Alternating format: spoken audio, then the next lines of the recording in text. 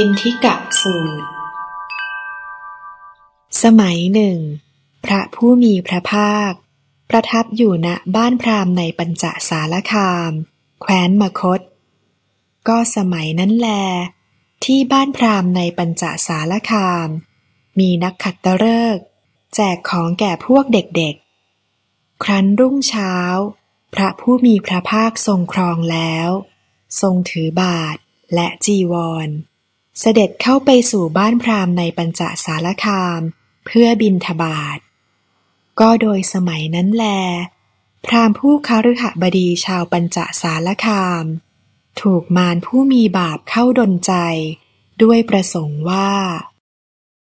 พระสามณโคดมอย่าได้บินทบาทเลย พระผู้มีพระภาคเจ้า เสด็จเข้าสู่บ้านพราหมณ์ ในปัญจสารคามเพื่อบินทบาท ด้วยบาทเปล่าอย่างใด ก็เสด็จกลับมาด้วยบาทเปล่าอย่างนั้นลำดับนั้น มารผู้มีบาป เข้าไปเฝ้าพระผู้มีพระภาคถึงที่ประทับ ครั้นแล้วจึงกล่าวกับพระผู้มีพระภาคว่า สมณะ ท่านได้บินทบาทบ้างไหม พระผู้มีพระภาคตรัสว่า แน่ มารผู้มีบาป ท่านได้กระทำให้เราไม่ได้บินทบาทมิใช่หรือ มารผู้มีบาปกราบทูลว่า ถ้าอย่างนั้น ขอพระผู้มีพระภาค จงเสด็จเข้าไปสู่บ้านพราหมณ์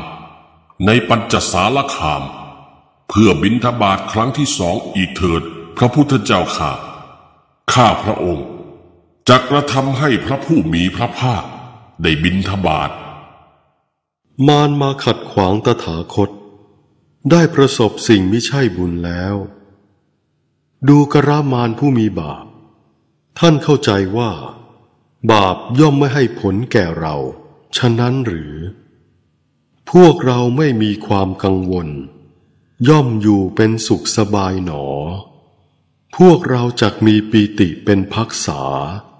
ดุจอาภัสรเทพฉะนั้น ครั้งนั้นแล มารผู้มีบาป เป็นทุกข์ เสียใจว่า พระผู้มีพระภาคทรงรู้จักเรา พระสุคตทรงรู้จักเรา ดังนี้จึงได้หายไปในที่นั้นนั่นเอง ปินทิกะสูตร จบ